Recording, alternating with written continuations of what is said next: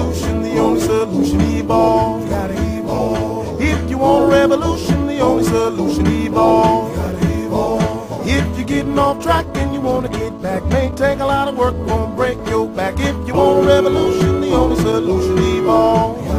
Hi, and welcome to Out of the Blu. Tonight I'm going to be doing an unboxing of Star Wars The Complete Saga, the Blu-ray collection. So as you can see, while it's still in a plastic, it has these stickers all over it. It's a 9-disc set, includes all the 6 movies, with over 40 hours of special features and 90 minutes of Star Wars spoofs. On the back of it, it basically tells you what you get on all the 9 discs, and there's nothing really too interesting here. I think for a 9 disc set they kept it pretty compact. It doesn't look like a brick or anything. Alright, so let's go ahead and take the plastic off of it and look at the artwork a little bit better. So the back actually isn't part of the box. It's just a piece of cardboard telling you what's all in the series. So the artwork on the front of the cover is pretty nice, but it's also kind of plain. I'm kind of surprised it went with this artwork usually Star Wars box sets or anything from Star Wars depicts like a big space battle and this and that. But here is basically young Luke walking away and old Luke walking back. So it's kind of interesting cover that they chose for this. On the back of the box, it's basically more of Tatooine, the desert, and there's somebody on writing something here, which I can't really tell what it is.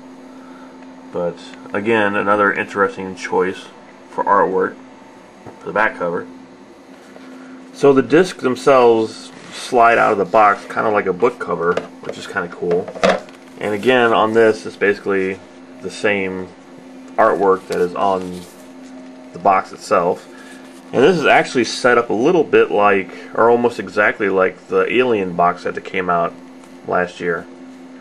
So let's look inside and see what's in it. So with the Phantom Menace, uh, you basically get a picture of Darth Maul, and the discs are set in there just like the Alien box set that came out. And these are all kind of look like the watercolored pictures. A little bit better picture of Darth Maul on the cover. So for Attack of the Clones, you basically get a picture of Amidala standing there with Anakin, so on a terrace, which Not all that great uh, of a sequence, and not very exciting artwork again. And it pretty much looks like watercolor. And you have the disc set into the page. For the third film, Revenge of the Sith, you have a little bit better artwork on this one. It's them fighting, and of course you have Anakin over here in full-on Dark Jedi mode. So it's kind of a nice painting. So for New Hope, you have a painting of Han, Leia, and Luke standing what looks like in the Death Star. It's a really nice painting if that's what it is. Of course, it looks so realistic, it almost looks like a photoshopped picture that, you know, they used for um, watercolor. But yeah, it's a really nice picture.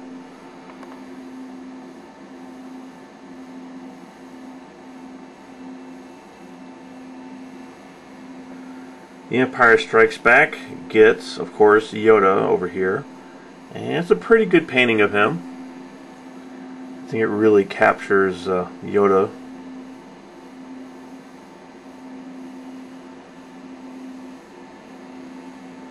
Now we get to Return of the Jedi, and we have yet another watercolor of a fight between Darth Vader and Luke Skywalker.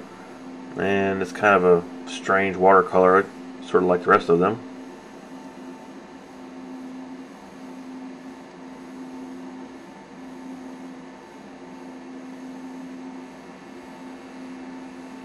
Now we get to the bonus disc page. And this is actually a kind of interesting page because there's some sort of creature here painted with Boba Fett riding him. And I never remember this from the movie. Maybe it's an outtake or an ad scene. But uh, yeah, it's very interesting. The bonus disc 2 page brings us Han Solo with a bunch of Ewoks. And it's actually a really good painting. I do like this one.